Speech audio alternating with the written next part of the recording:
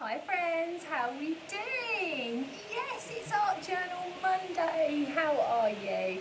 Now, I'm not in my usual place, am I? No, I'm at the Create Craft Studios today. So I've just popped into a little meeting room and we're going to do our art journal here. It is still very sticky, very warm. I hope you joined me this morning for the brand new Sally Anson USB. It's amazing, absolutely awesome. I am going to tie a little bit of that element in with this as well. So, art journal. I was so pleased everyone really loved my artwork for doing last um, week. Hi Joe, hope you're doing really well. So this week, seeding. So we can really get to town with all of those inks and beautiful ideas. I'm also going to do a little bit of ink work using the beautiful uh, impregnated watercolour tissue paper. You can buy it online, it's so cool to use and it's very, very different. So I'm just going to turn you around so you can see exactly what I'm doing. Now I am back live on your telly box as well at quarter past five, so I hope you can join me then. But let's have a look at what I'm going to do today. So I'm going to start with my plain journal. Here we go. Now, like I said before, I'm not in my home studio. I'm actually at the studios today, at Create Craft. So obviously things are going to be a little bit different. So this is the watercolour tissue paper. It's beautiful. It's just your usual tissue paper, but as soon as you add water to it, what happens is the colour just flows out. So I'm just going to rip some random little bits, different layers, different shapes, different sizes. And I've got the yellow, the darker blue, and then I have two different, three, sorry, different types of green. Then I've got a little splash of the darker blue uh, bordering on purple, so I'm just going to have two pieces of that as well. We're also going to be doing some paintwork and some inwork and a tiny little bit of stamping as well. Okay, so first things first, using this, I'm just going to add a little bit of water to my pages. Now this is just a usual square dot journal and what you can do is if you're not happy with the thickness of the pages, if you can't take what you're creating, the best thing to do is just tape a few together. This will just make it a lot more sturdier, a lot more um, easier to use. So I'm just going to add some layers. Now you can see already some of it has started sticking, some of it hasn't. But I just need to get some positioning on here first. So I'm just going to lay this across here. Hopefully you can see where I am with this. And a little bit of the green at the bottom. Now I'm going to go onto a piece of paper because if you've used the tissue you know that the actual ink seeps a lot. Okay, so now I'm just going to use my water spray, go over the top of them very, very simply Okay. And on this side too. So as that water reacts with that, what's going to happen is two different things. The first thing is the colour is going to become a lot brighter. And don't forget as well, every time you use watercolour, what happens is it actually dries two to three shades lighter. So um, always remember that. I'm just making space this side so I've got somewhere to put my tissue paper once I have finished using it. Okay, so now this is here like this. I'm just going to grab a piece, oh, actually I'm just going to grab my wet brush and I'm going to exaggerate some of that colour out. Can you see that? Just like so. So we've got the greens and the blues. There's some more water down here. And of course what happens is bits that it hasn't touched you won't get any colour. And of course the bits you have, you will get lots of vibrant colour. Absolutely gorgeous. So again, I'm just exaggerating them colours from the tissue paper. Very simple. I'm just making sure that I've got good coverage over the colours. Okay. Now you can leave this to dry and then peel it off after, but what I like to do is just take it off straight away.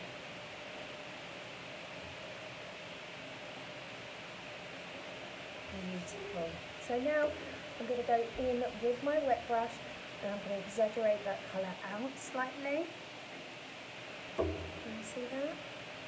Allow it to dry as it goes. Also it gives you this beautiful effects on the paper. Down now if you haven't got this, of course you can use normal ink or you can use um, uh, just paint if you like as well. I am going to be doing a little bit of painting over the top of this. At the moment I just want to get that base colour on. Okay now again, saturate that colour out with a little piece of water.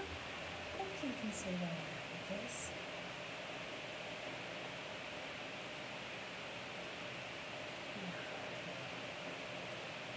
You can see how simple it is to be able to flow that colour beautifully. There we go. So already I have my base of my colour. Next I'm going to go onto my Himi palette. I hope you got yours. They will be back in stock soon, so please don't worry. I'm just going to start with my larger round brush to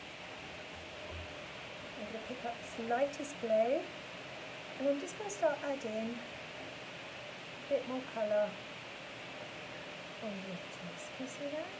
Allow it to run as well if it wants to. Pick up a little bit of a darker blue now. This is more like a, a purpley blue. It's got them violet tones in. Then I've got the true sort of navy blue that I'm adding in there as well. Now when you come over to the green, add the blue and if you do it in sort of swirls, that's the only way I can sort of describe it, is you're swirling it into the colours that are behind.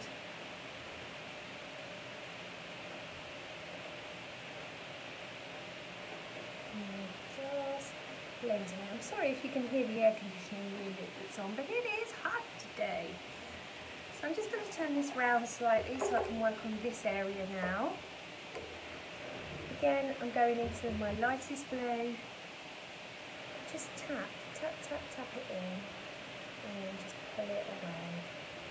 So you tap, tap to saturate the paper and then you blend it in. Okay, and now I'm going to go into that other blue, tap, tap, tap, a little bit of water I'm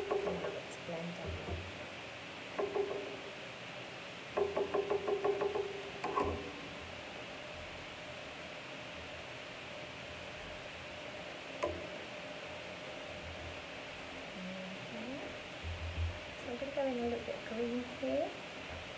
This is sort of quite a mossy green, but it works really, really well. Okay, tap, tap, tap. And this will create all of them different layers, all the different textures that you need for under the sea. I'll just turn this round, hopefully you can see where I am.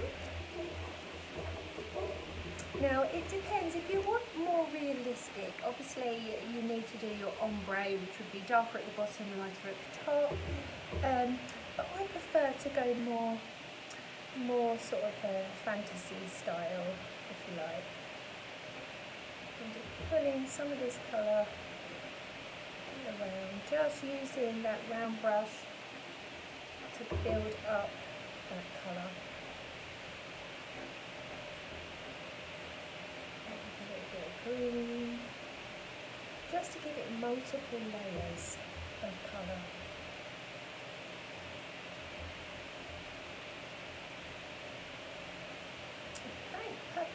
So while that's drying, I'll just pop that to the side for a second because I very naughtily forgot to bring my heat down. But it's alright, it won't take long. It's so warm in here. It will very easily dry. Okay, next item we're going to be using is the beautiful Himi pencils. Now these are gorgeous. Not only are they watercolour pencils, but they're quite creamy in a sort of oily way, which is beautiful because then it just gives you a lot more adaptation of what you want to do. Now I've already cut out, these are the beautiful seahorses. This is the charisma that I've printed in black and white. So you can print them in grayscale if you like and just use that as your colour option. So now I'm going to go in with my lightest green and I'm just building up some of that colour work very, very simply. So we come in, just building up your layers. I'm going to go into light blue now. This is one of my favourite ones to do. It's simply gorgeous, really, really, absolutely beautiful. Down now the opposing way. I always tend to colour the direction that I'm doing because then also what that does is it makes it slightly 3D. So I'm just pulling it across, can you see that? This won't be part of that, that will be part of the reef that it's holding on to. So now I'm coming down, adding that little touch of colour. Like so. of gold in there as well, especially the eyes. And you can overlay, this is what I really love doing, is overlaying the colours. Of course, because they're water soluble as well, we can easily use our brush to blend these after.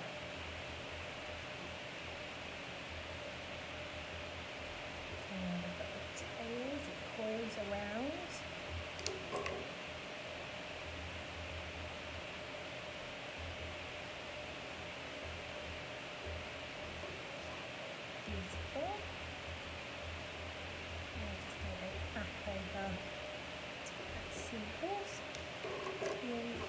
Darker blue now. And this will create texture as well as colour. I'm just putting in that background.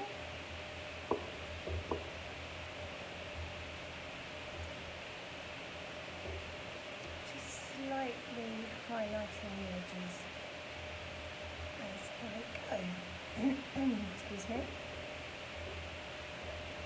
I don't know if we're going to have any more rain today, you know. I'm looking out thinking, I'm just going to use a little tad of purple just to highlight some of this colour slightly, especially in the face. And just a little tad. And now this is where the fun starts because even though we've used exquisite Sally designed um, charisma, putting it in the grayscale means that now I can colour this any colour I want. So if you want orange seahorses, you can. If you want blue or green or yellow, or whatever colour you prefer. So I'm just putting a little bit more of that colour in that you can see there. So now I'm going to go in with one of my smaller brushes pink ones. Pick up a tad of water and then I literally just blending around as we go. We're not taking any of the colour away, we're not lifting it at all. We are purely blending that colour detail as we go along. So again, blend I've got that shading already done.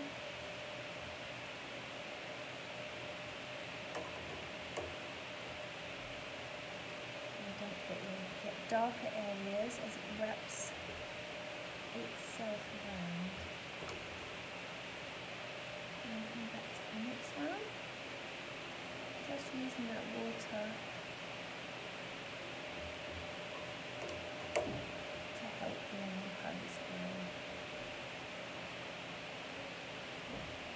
this. So I just want a little bit more purple detail, so I'm just going to put this straight down into my cardstock. Add a little water, pick up that colour, make sure it's not too wet, so twist the brush, and just highlighting them areas. There we go. Now I'm going to take my orangey yellow I'm going to come straight down into this seagrass that is holding on to. Okay. And I'm just going to add a bit green to that as well.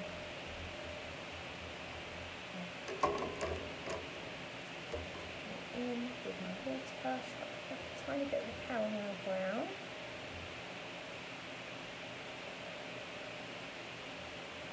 Very simple. There we go. So we'll pop him to a side, or them, shall we say, to a side for a second, and we will carry on doing our background. So let's have a look where we are with this. Now it's not completely 100% dry, but it is dry. So I'm going to take some Mowed Lawn Distress Oxide, and I'm going to be using the bubbles that are from the Inklily range. If you've seen the stamps with their beautiful pens. And basically, I'm just going to do some random stamping with these two. It doesn't have to be exact. Rotate it so it looks a bit different. If you haven't got these stamps, don't worry. Get yourself a cup, okay? Uh, a, a beaker of some sort. Use the bottom of the beaker as your bubbles. Okay, so if you haven't got bubble stamps, don't worry for now. You know, I'm sure they'll be part of your investment eventually because they are so cute. But you can use that cup out as well. So I'm just going to take the other bubbles that I've been using and just pop these in here and there. So, And the reason I'm opening it is because my book is so full now that um, I really need to open the pages to get to the page, you know what I mean? Okay, so there's my bubbles and I've done them in the Mowed Lawn. Next what I'm going to do is, again, I'm going to go back to my Himi palette and I'm going to pick up a little touch of this perfect beautiful milkshake colour. It's gorgeous. It's that pink milkshake. It just makes you think of strawberry milk straight away. And I'm going straight over. Start from the centre and you just build that colour up one side. It just makes it three-dimensional. Very easy. I hope you can see where I am. Should I move it over a bit? There we go. So we're just using that beautiful pink. Now, as you know, a bit stickler for this, I don't know why, but I always end up doing my colours in layers rather than going along as I go, if you know what I mean. So I'm just going to be adding that beautiful milkshake pink just to the left hand side. And here, and I'm just going to add that and bring it round.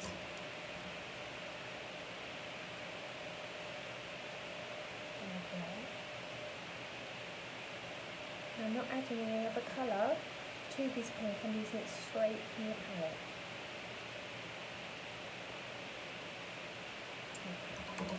So next we go into your lightest blue that you have. If you want to take it down an increment you can.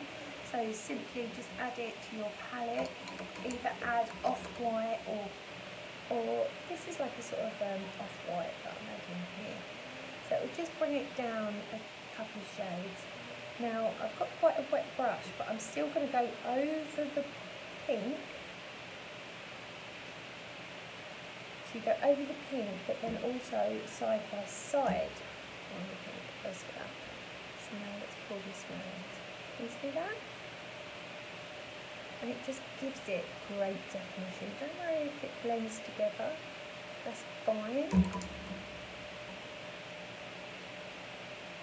I don't know why, it's just saying so lovely about doing bubbles. It's beautiful.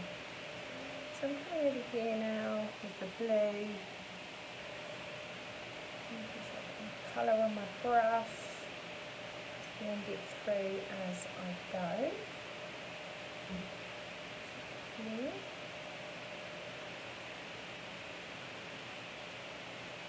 see that? So now I'm just grabbing that blue and blending it away.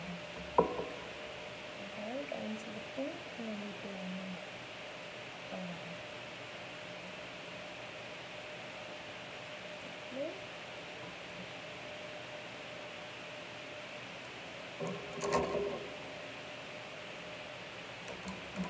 Next one, yellow. But what I'm going to do is fill my brush this yellow and then I'm going to go slightly into that glue that we mixed already because then this will just be perfect. So you want to make it quite watery because you don't want it to be too stark on the background.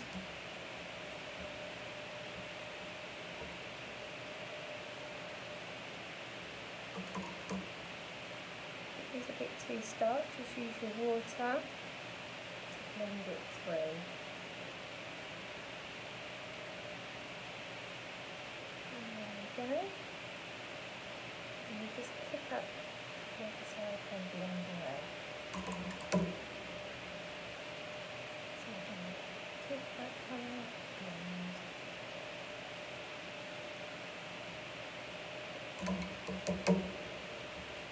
Again, colour, blend away.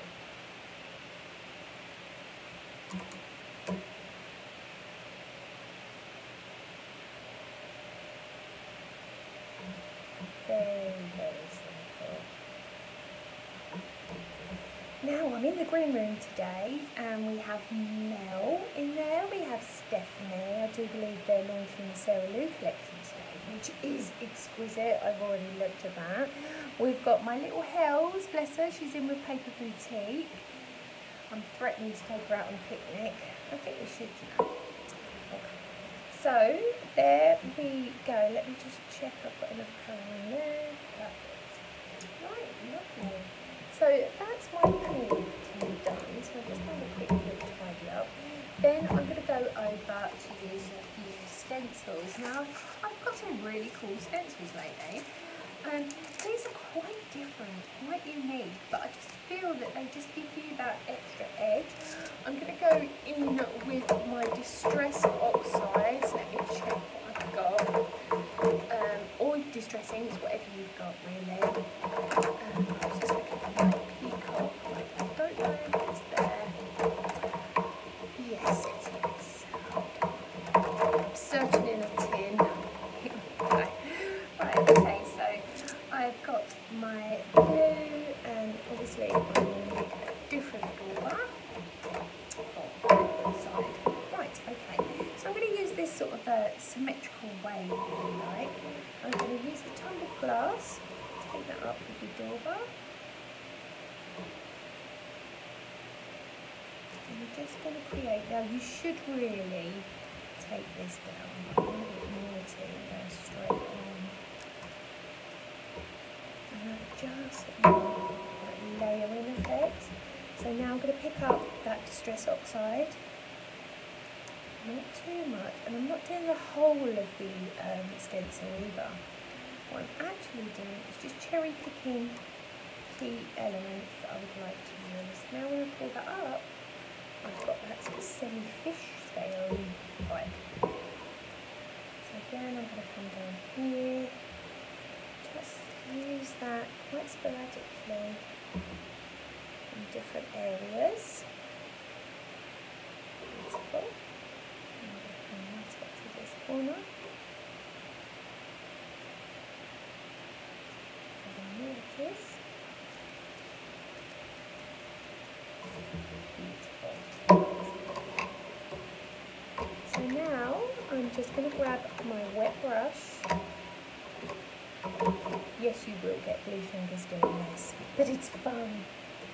It's too much fun to not do. Just add a little bit of wet uh, flicking on there, wet brush, very, very simple. Now when this dries, it will be beautiful. And I'm going to add in that gorgeous little silvers that we've created. Just checking I've got some glue.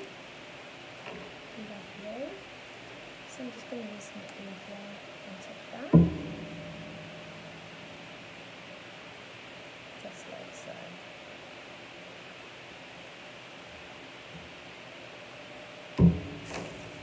Love, love. I've got a few sort of MAC gems, which are just right for this actually.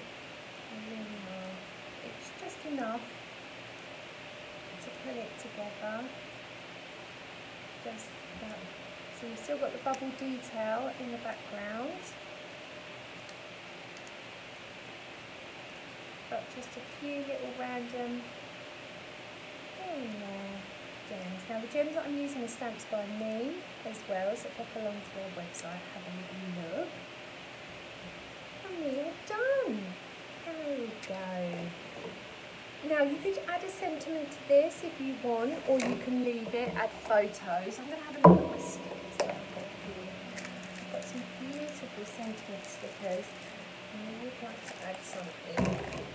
So let's have a look what we've got here. Oh, very kind-hearted. Yes, yes, yes. And what I'm doing is I'm actually going to place the sentiments just off the bubbles so it just ties everything together. So let's have a look what else we've got here. I've had a lovely time, this one says.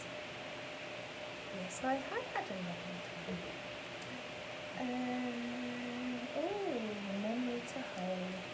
Now these are Tim Holtz uh, stickers sentiment stickers available on the website if you would like to go and have a look.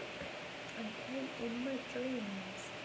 So I think we maybe we need one more sentiment just for balance at the bottom here. And then I think we are done. So this one says perfectly happy. There we go. There we go. Hey friends, how are we doing? Are you okay? Lovely, a bit different, isn't it? Thank you, so, I'm so glad. Right, okay, let's have a little look. I will post pictures later once it's completely dry, so you'll be able to see it in gorgeous close-ups. But can you see how unique and different it is? Thank you so much for joining me today. I hope you enjoy Art Journal Monday. Please feel free to share all of your gorgeous artwork on the group, um, either the Crafty Army or post them on my page. I'll be more than happy to see them. I'll be back on your telebox at quarter past five this evening with the next instalment of Sally Anson. Now guess what friends, tomorrow is the Amala Facebook Live. Uh, no, not tomorrow, Wednesday because tomorrow oh, I'm going to be the mother of a 16 year old. Oh, I can't believe it. Um, yes, my little Lottie is going to be 16 tomorrow, so yeah. I'll mostly be eating cake all day because it is my birthday day, isn't it? I gave birth to her on that day. So, um, and then also on Thursday, I'm going to be back on your TV screens with the brand new Craft Shoe Print collection. So if you got the last one, you the 50 cheats, with all that beautiful artwork, um, we're doing another one. Oh yeah, amazing, brand new images, something totally different. So I hope you can join me, take care of yourself, and of course, I will be showing you the dry variation once this is done. Take care of yourself and each other, my friends, and I will see you soon. Don't worry, Sue, if you miss me, catch up. I'm on YouTube. Don't you worry, sweetheart. See you later. Take care. Stay cool.